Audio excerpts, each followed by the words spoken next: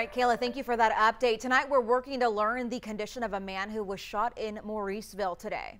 The Orange County Sheriff's Office says around 1230 this afternoon, someone fired shots on Broussard Circle.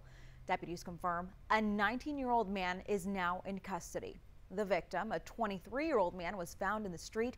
He was taken to the hospital by helicopter. No word right now on his condition. Deputies also have not released the name of the person in custody. And another